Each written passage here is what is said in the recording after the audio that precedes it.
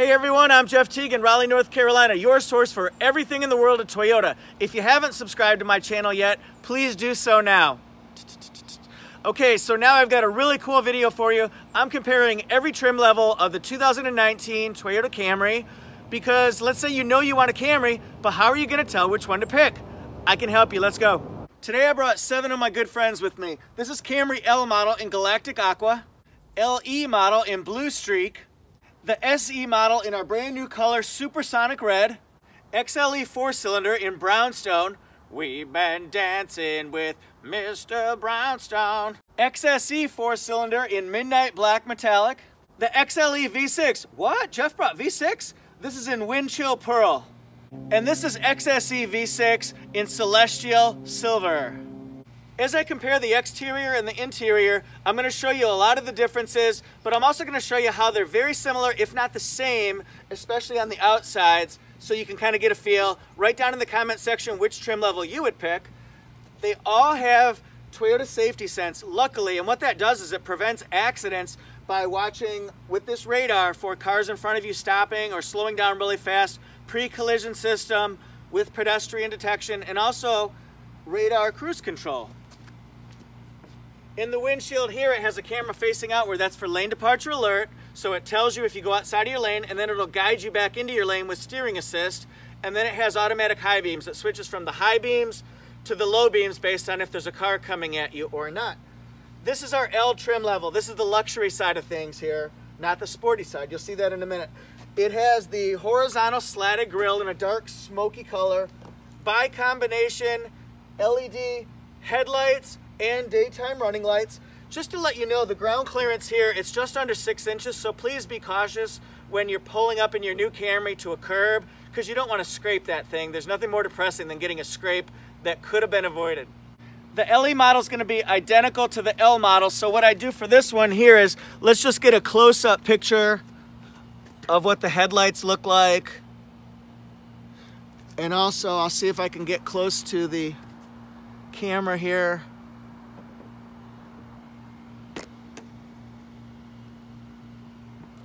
So you can see what that looks like. And then here's the radar for the radar cruise control. Now for the sporty side of things, this is the SE trim level. It's known for its patented wire mesh sporty grille. It's in a black color here. Has bi-combination LED headlights and daytime running lights. And it also has the same Toyota safety sense. This is what it looks like in supersonic red. What do you guys think of that new color? This is the XLE model. This is the model that I own and it has fully integrated LED headlights and also daytime running lights. Has the horizontal slat grille. Let's show you these lights here so you can see the differences between the lower models and when you get up to the XLE. The XSE four cylinder, it has fully integrated LED headlights and daytime running lights, but it has a smoky gray tint to it. And then the difference between the XSE and the SE, this has a glossy sport mesh grille. The SE has a matte flat black finish, and then it has a silver accent bar in front as well.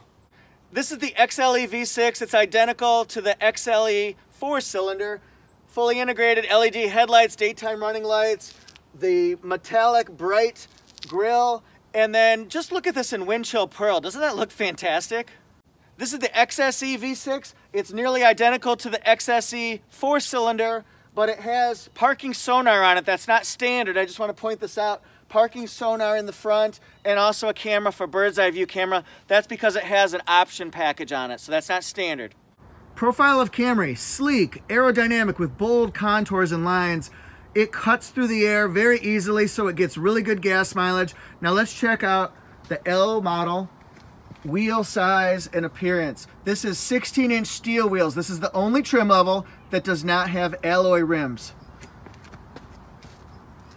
The LE model, it has 17 inch alloy wheels.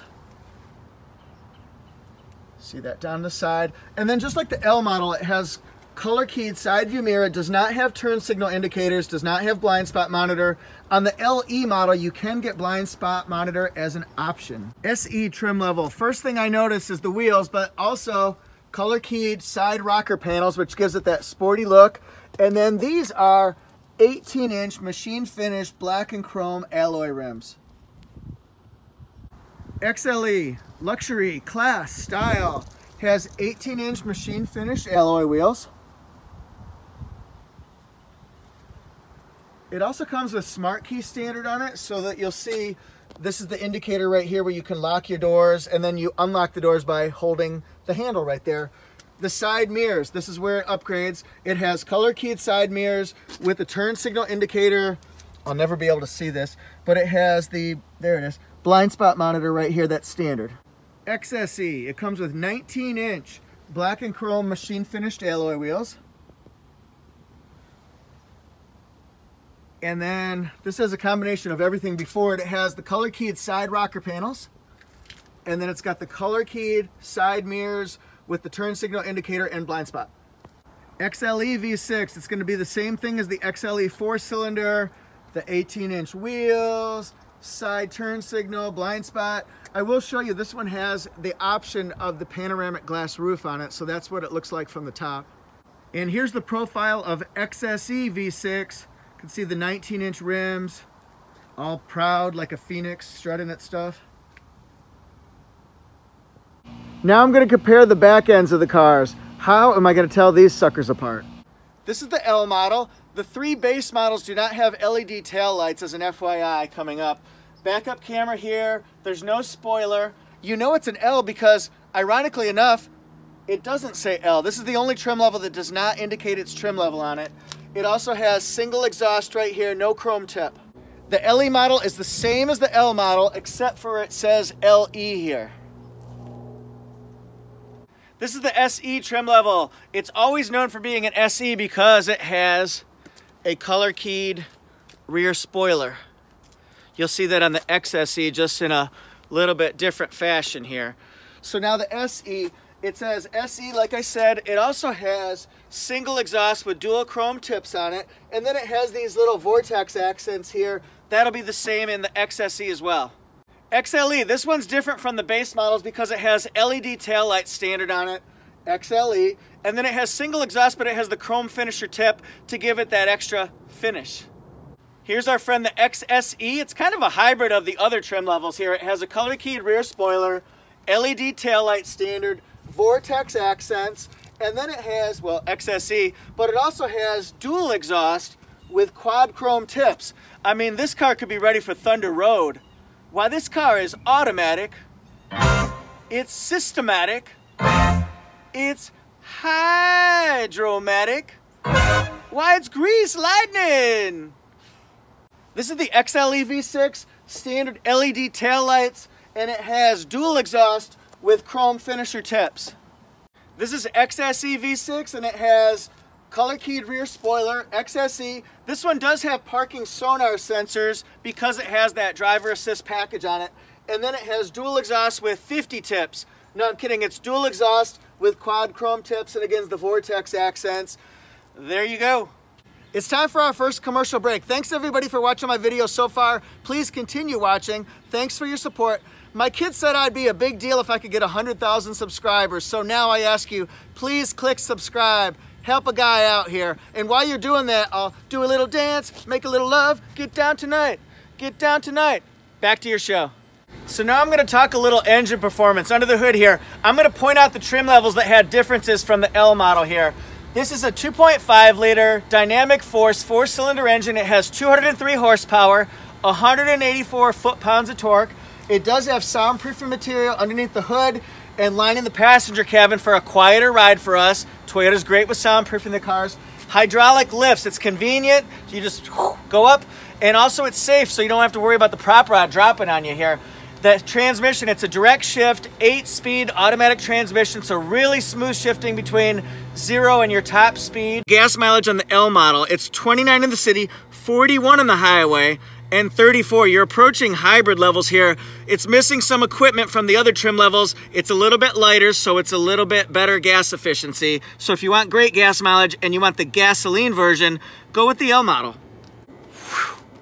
LE, SE, and XLE four cylinder, they're all gonna have the same engine in it, but they have different gas mileage. So let's point out a window sticker for gas mileage here. 28 in the city, 39 on the highway combines to 32. Obviously, it's less than the L model, but they come tricked out with more options.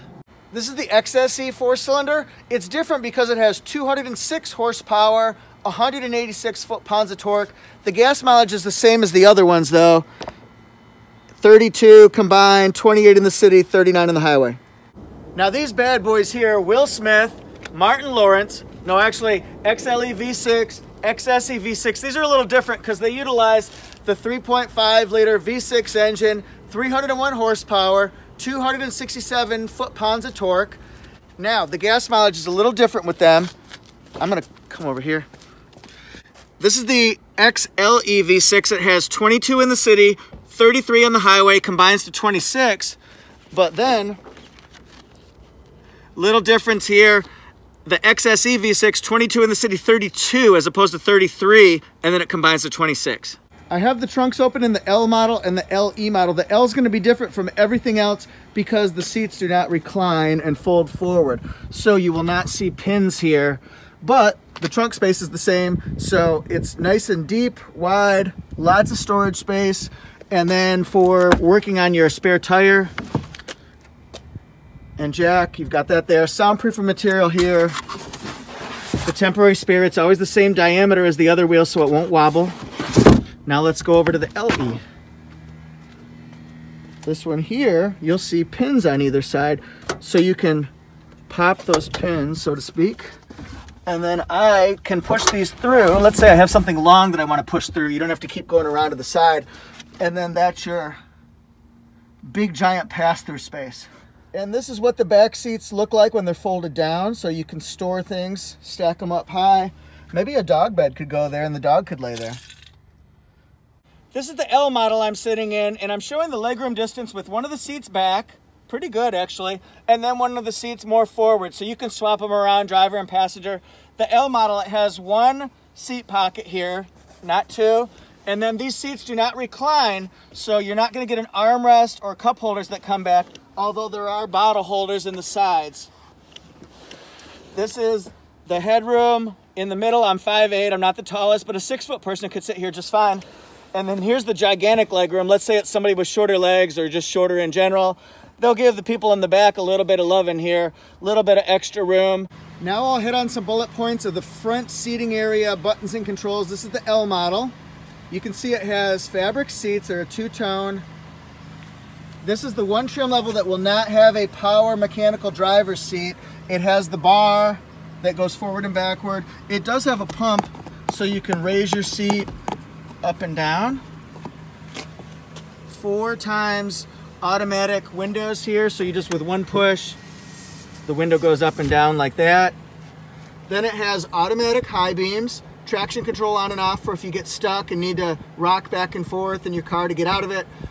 Trunk hold and gasoline hold. In the previous generation, they used to be down in the floor right here, if you remember. Steering wheel controls, they're designed to minimize distraction. Toyota's big into that, making sure people are paying attention, but it's easy to get to the buttons and controls.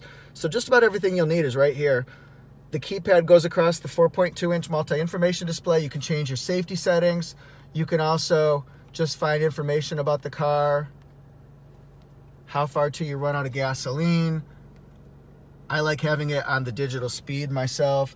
This is voice command you can give the car. This is to pick up a call, hang up a call through Bluetooth. This goes back to your previous screen. This is AM, FM, Bluetooth, and this goes across your preset stations, lane departure alert, pre-collision system, and now it's really easy to set your cruise, to turn it on, and also to set your speed. Console here, good amount of storage space in here. No electrical plug-ins here, I mean like USBs or 12 volts cup holders. If you have Qi wireless charging, this would be right here. If not, it's a storage pocket. The L model has the traditional key, not a push button. Has a USB jack, iPod jack, the 12 volt circular port. The temperature controls, it's single control, in other words, not dual control. Fan speed, it works really well though. Temperature, and then just control where you want the air. Woohoo! And this is the Entune audio. In other words, it's the base Entune audio with the Entune app suite. It's really easy to use. You've got access to Scout GPS, Pandora, iHeartRadio, fuel prices, things like that. The audio, I'll just show you, it's touchscreen. Again, real simple to use. I push this and then you can adjust your treble, mid, and bass, put it forward and backward like that. But the sound system itself, very, very simple to use. Okay, up top, it's a regular rear view mirror. Wi-Fi Connect is standard on every trim level this year, and also so is the Safety Connect. That can help you if you're in an accident. You can alert people to come get you, or you can call their service if your car gets stolen to track it. Little LED pocket lights here, sunglass holder, and then mirrors here. There you go. LE model. This is going to come standard with fabric seats as well the upgrade from the L model here is that the seats fold down in a 60-40 split, but it also comes down with an armrest with cup holders. This is an option that was added on the car, but I do want to show you what either Toyota can add or we can add at the dealership. Dual USB ports so everybody can plug in and charge in the back. Little pocket here. But the fold down seats and the armrest, those are, and the cup holders, those are differences between the LE and the L. Here's the interior of the LE. It has fabric seats. Now the difference is when you upgrade to the LE, you're gonna get standard the power driver seat. So you can go forward, backward, up, down, you can twist it. And then this is for the seat back. This is for lumbar support. The other difference is you can actually upgrade your radio system to Entune Audio Plus if you want to, which will give you satellite radio standard, HD radio, those type of things. Now more things that are standard on the 2019 Camry, Alexa enabled commands, not Android Auto, but it also has Apple CarPlay that's standard on every trim level. These are apps that can give you easily the music on your phone, the navigation maps, you can do iPhone maps, Google Maps, Waze. You could also do Scout GPS. I can access Sirius XM here without even upgrading my radio. So it's real, real easy to use. Here's the SE interior. It's lined with Softex with sport fabric seats. Excuse that plane flying overhead, the nerve of them going somewhere. But you can see the Softex there. No rear air vents like in the L and the LE. There's the optional USB ports. And the backs of the seats are in Softex as well. Now, here's the interior of the SE from the front.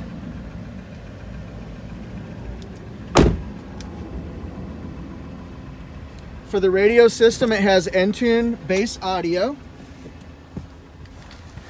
One thing I like on here is that it gives you a tire pressure monitor, so that's real valuable, especially when it's colder, like it's November now so that you can actually see when the air is contracting and lowering your tire pressure. And then this accent, it's a brushed metallic accent there. It's a little bit different.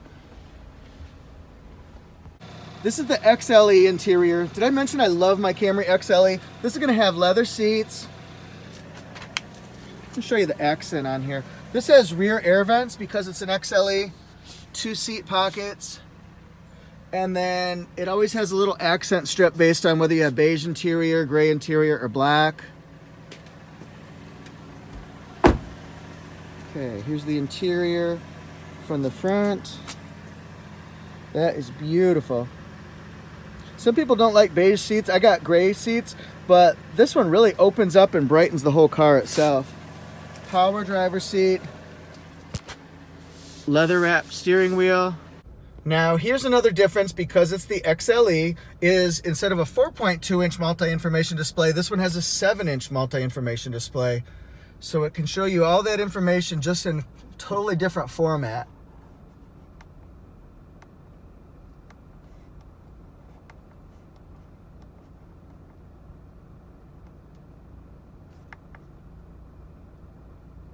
And the XLE, here's some upgrades here. It has two more USB ports in the center console area. So that's three in the car. Heated front seats to go with your leather. electronic parking brake and brake hold. Brake hold, when you have it set, if you pull up to a traffic light or a stop sign and you want to wait there a couple minutes, just push it and you can actually take your foot off the brake. It's pretty cool technology, although it takes a little getting used to to trust that if you take your foot off the brake, it's not going to do something horrible to the car in front of you.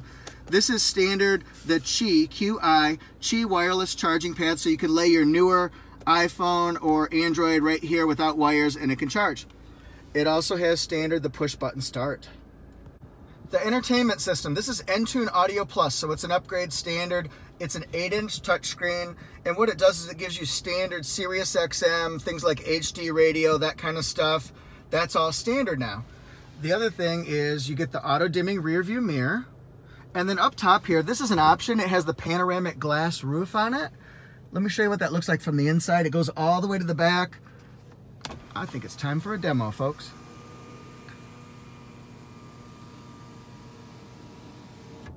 And then let's see.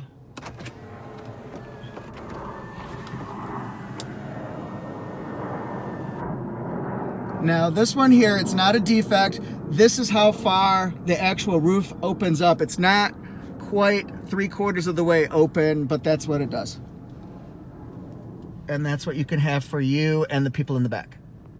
And one last thing I want to mention here, in the 2018 model, navigation, built-in GPS was not even available. It was not even an option for you. Now, on the XLE four-cylinder, XSE four-cylinder, the V6 versions of each of those, you can get the navigation package if you want it. Although, and that's map, although if you've got Apple CarPlay and you've got the Apple system, you can do Google Maps, iPhone Maps, and Waze. I don't know if you need the navigation package anymore. Here's the interior of the XLE looking from the passenger seat. And speaking of passengers, they get a power passenger seat. And then the accent here, it's not the brushed metallic or wood grain. This one's called Tiger Eye. It's the eye of the tiger, it's the thrill of the fight.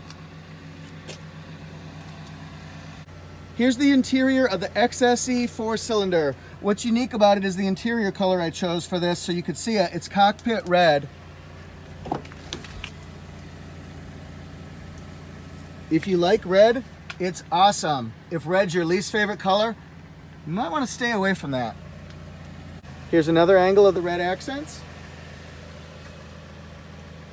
You can see how it's scattered about.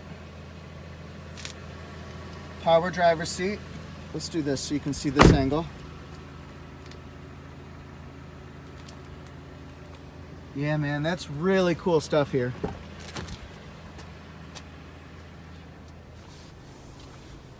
The accent, just like in the SE, it's going to be that brushed metallic. And I did want to show you, I did mention that you can get the navigation package upgraded. This one has the navigation package. So you can see that's how it works. It works through the cloud actually, so it's constantly updating like a Waze or a iPhone Maps, Google Maps, that type of thing. And the view from the passenger side, brushed metallic accent, power passenger seat, and what the seats look like from this angle.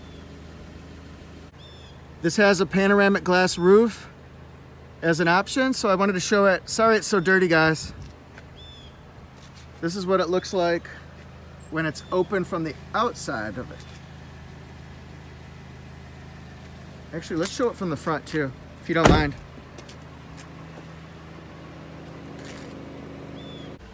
Here's the XLE V6. I'm gonna show you it because it's in the black interior and I haven't shown you that yet. Rear vents for air. And then here,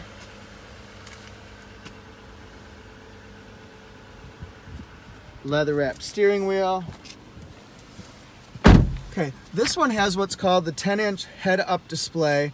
So what I'm gonna do is I'm gonna scroll there. The head up display, it shows you on your screen or on your windshield what's going on as far as your speed. It can do navigation if you have navigation. It can do phone calls, music. It tells you what gear you're in. And it also shows you the lane departure alert and radar cruise control. It's only flashing right now because of my camera. It doesn't normally do that. But the point to it is, is that so it avoids distraction and you're looking right in the direction of where you're driving. And to show you the interior, it has that tiger eye trim. Same look up top. This also has the panoramic glass roof, but it's standard now because it's a V6. And then the radio system. This upgrades, it's the Entune Audio Plus, so you still get satellite radio, things like that, HD radio, but it has JBL sound system. So what it has is concert-like performance, so it feels like you're actually there. It has nine speakers in it. JBL. JBL, and the point to JBL speakers is they want you to feel like you're at the music concert, at the sports event, at the symphony while you're in your car. So I hope you get to enjoy it. And again, here's our friend XSE V6. Has black interior as well. Note the contrast stitching color here. Rear vents, double pockets. And then here's the view from the passenger side. A lot of people ask about what's the interior like. Can you show the interior? So I try to get as many different angles as possible. Power passenger seat. And just look at the texture and patterns here. And look at my shadow. This one has the brushed metallic just like the rest of the sporty ones. Here's the view from the driver's side of XSE V6. I did want to show you one button. This is the bird's eye view camera.